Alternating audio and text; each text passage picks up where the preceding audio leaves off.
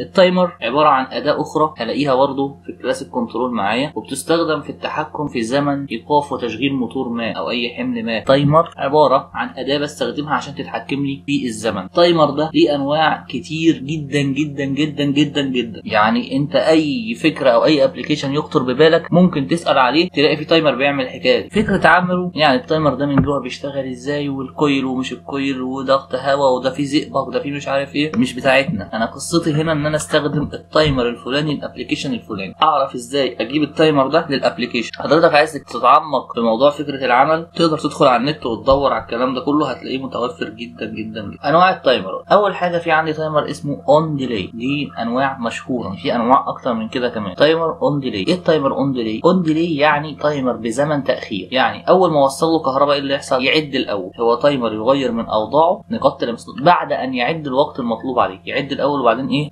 يغير نقط تلامسات لحد إمتى؟ لحد ما ينقطع عنه التيار الكهربي يرجع لوضعه. يبقى أول ما التيار ودي مهمة جدا لأن أنت أحيانا بتبقى محتاج ال timer ده يخرج. يعني بعد ما يعد الزمن المعين ده يقوم خارج تاني من الدايرة عشان يرجع نقط معينة وبعدين يدخل تاني وهكذا. ده timer on delay timer بيعد الأول وبعدين يغير نقط تلامسات ال timer الثاني timer اسمه off delay يعني مفيش زمن تأخير. بمجرد ما توصل له كهرباء بيغير نقط تلامساته ويبدأ يعد زمن. بس إمتى؟ بعد انقطاع التيار الكهربي عنه. يعني أول ما وصل كهرباء يغير نقط تلامساته مجرد أن يصل له التيار الكهربي وبعد انقطاع التيار الكهربي يبدأ يعد off delay يعد بالتنازل لحد الزمن المطلوب وتعود النقاط إلى وضعها الطبيعي. في timer اسمه off delay with auxiliary supply auxiliary supply ده فردة ثالثه بتبقى داخلة مع ال two coils مع الطرفين بتوع ال coil بتاع ال timer نفسه. timer معه طرف ثالث للتحكم في بداية تشغيله يعني أقول له يشتغل إمتى. وعند فصل التيار عنه يعود لوضعه. timer الكهرباء واصلة باستمرار لل coils بتاعته ومعاه طرف ثالث أقوم جاي موصل فيها الكهرباء بس بمزاجي أنا أقول له اشتغل إمتى؟ ولما يفصل تيار عنه بيعود لوضعه زي timer off delay العادي خالص. طب في timer on و off delay مع بعض. timer معه طرف ثالث برضه عند وصول التيار إليه يعد on بيعد شغل بيشتغل. on delay. ثم يغير نقط تلامسات. وعند فصل التيار عنه بيعد زمن off delay وبعدين يغير نقط تلامسات. يعني أنا جمع ال timerين في حتة واحدة أو في timer واحد. عارفين ال timer on delay لوحده؟ اللي هو يعد الأول وبعدين يغير نقط تلامسات. ده هنا برضه بيعد الأول ويغير نقط تلامسات وبعد ما يغير نقط تلامسات يبدأ يعد off delay في timer بعد كده اسمه ال interval on or ال impulse interval on ده timer عامل زي مكنة السلم بالظبط. مكنة السلم اللي بيحصل فيها. حضرتك أول ما تتك على الزرار مكنة السلم اللي بيستخدموها ينوروا بيها السلالم والكلام ده في العماير. أول ما حضرتك تتك على الزرار أو تضغط على الزرار إيه اللي بيحصل؟ بيوصل كهرباء بتغير نقط تلامسات فينور كهرباء. وفي نفس الوقت بتعد تنازلي. وبعد انتهاء العد بيغير وضع التلامسات بيفصل يعني. في ال interval off عند توصيل التيار تظل النقاط على وضعها وعند الفصل يتغير وضع النقاط وفي نفس الوقت يبدأ العد التنازلي وبعد العد تعود النقاط لوضعها. يعني أول حاجة أوصل كهرباء تنها النقاط على وضعها. وبعدين لما أفصل تيار وعند الفصل يتغير وضع النقاط وفي نفس الوقت وهي بتغير وضع النقاط بتعد عد تنازلي علشان تعود النقاط لوضعها مرة ثانية بعد ما غيرت وضعها. بعد كده عندك حاجة اسمها ال flasher timer. ال flasher timer ده زي بالظبط ال flasher اللي بيستخدموه في إشارات الموتوسيكلات إشارات العربيات اللي بيدي إشارة يمين وإشارة شمال عند توصيل الكهرباء بيغير وضعه. وبعد انتهاء زمن on زمن on ده اللي هو تقريبا حوالي ثانية. بيعود لوضعه الطبيعي وبعده يعد الزمن off. بعد كده نوع تاني من ال timerات اسمه timer ل 24 ساعة. ده timer ممكن يستخدموه مثلا في ال photo cells اللي بيستخدموها في اللي هي الخلايا الضوئية. موجودة في الشوارع. timer عبارة عن 24 ساعة كل 12 ساعة. مره اطفي ومره افصل مره اطفي ومره افصل أو كل 12 ساعة. في timer أسبوعي. timer الاسبوعي ده مثلا عايز كل أسبوع في الوقت الفلاني التكييف يطفي أو كل خميس مثلا بدل ما نحط نفسنا في موضوع التكييف مطفي أو مش مطفي لأ ده كل خميس يا فندم اطفي التكييف ده وتطفي الأنوار وتفصل الكهرباء عن المبنى كله. timer أسبوعي. timer star delta. وده إحنا شرحناه قبل كده. وإن شاء الله هيبقى في فيديوهات تحت الفيديو ده تبقى موضحة لحضرتك بعض التايمرات زي ال on delay زي ال star delta الكلام ده كله. كانوا زمان عشان يستخدموا دايرة star delta أو يشغلوها بيستخدموا تايمرين. لأ دلوقتي ده دلوقتي في timer star delta بيعمل إيه؟ بيشغل لك ال star الأول لزمن معين ويشغل لك الدلتا وفي كمان هو ده timer star delta على فكرة اللي قدامنا ده. وفي كمان بزمن بيحدد لك زمن النقل من ال star لل delta يكون قد إيه. في timer تاني اسمه timer إلكتروني أو رقمي. بدل حوارات المؤشرات ديت بيبقى عبارة عن timer رقمي بشاشة digital وأحيانا كتير بتبقى محتاج حضرتك في شغلك إن ال timer يبقى جنبه relay فيبقى عامل لك بيبقى في timer موجود زائد relay اسمه timer و relay مع بعض. في timer هوائي. ال timer الهوائي ده من مميزاته إن هو ما بيحتاجش كهرباء عشان تشغله. هو كل حكايته إن هو بيركب على ال contactor وإن هو موجود جواه انتفاخ من الكاوتش بيتملي بالهواء. في فتحة كده بيسموها البلف. الفتحة دي بتتحكم في دخول الهواء ولما تتملي الانتفاخ ال- الكاوتش ده بالهواء بيغير من أوضاع التلامسات بتاعته. ده عندنا أشكال تايمرات. ده timer on delay ده فيديو إن شاء الله هنشرحه. هيبقى تحت الفيديو ده.